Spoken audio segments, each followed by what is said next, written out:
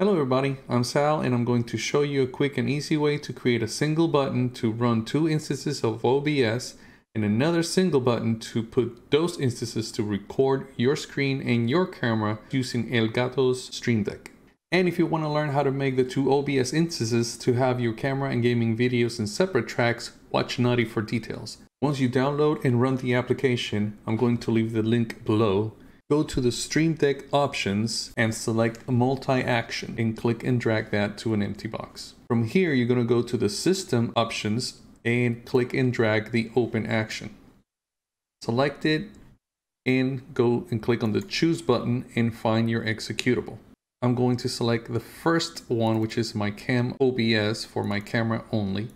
I'm going to find the executable, select it. At the end, you have to have the portable flag here or as a shortcut to your desktop. If you don't have the portable flag in your executable, OBS will not work as two separate instances. I'm gonna name this one as Cam OBS. You can copy and paste one and find the next one for your gaming or uh, screen recording or you can do another action drag. So now I'm going to select my game or screen OBS and find the executable, do the same exact thing and put portable. I'm gonna rename this as game OBS. So now I have my OBS for my camera, my OBS for my screen game uh, recording. Now I'm gonna go to my off position and I'm going to select the hotkey click and drag that. And I'm gonna click here to assign. So basically this is gonna record your keystrokes. I'm gonna do Alt and then the F4 key. And then I'm going to select Control C to copy, Control V to paste, or you can just right click, copy and paste.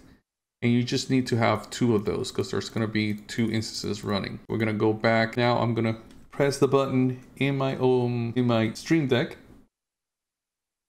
There's two. There's my cam course it's off, in my gaming monitor, which is my screen, which I have another instance of OBS running to record this video.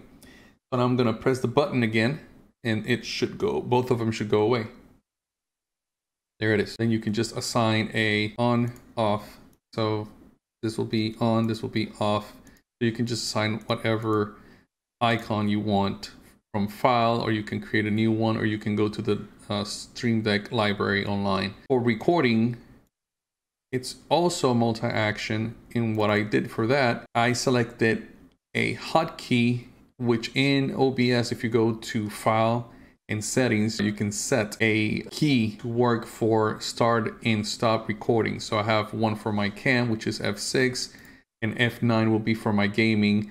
Um, I tried making them the same one, but it didn't like it so I just left it uh, my keys separate. And that's what I have under F um, under my on position and my off position I have the same thing. So just to show you what I did basically you just go back and do a multi action switch a hotkey that'll be my cam another hotkey that will be my game.